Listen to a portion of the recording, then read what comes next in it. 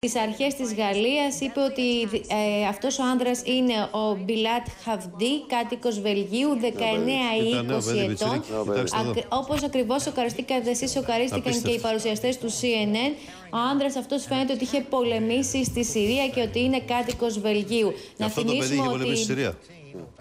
Ναι, αυτό δίνουν οι πληροφορίες τουλάχιστον από ειδικό σε θέματα τρομοκρατίας από το Βέλγιο. Να θυμίσουμε ότι επισήμως ε, έχουν ταυτοποιηθεί τρεις από τους επτά νεκρούς τρομοκράτες Ναι. και δύο εξ αυτών είναι κάτοικοι Βελγίου. Μάλιστα. Ευχαριστώ πολύ. Γεια σου, Χρυσά, Χρυσά. καλημέρα. Διάλειμμα. Μικρό Συνεχίζουμε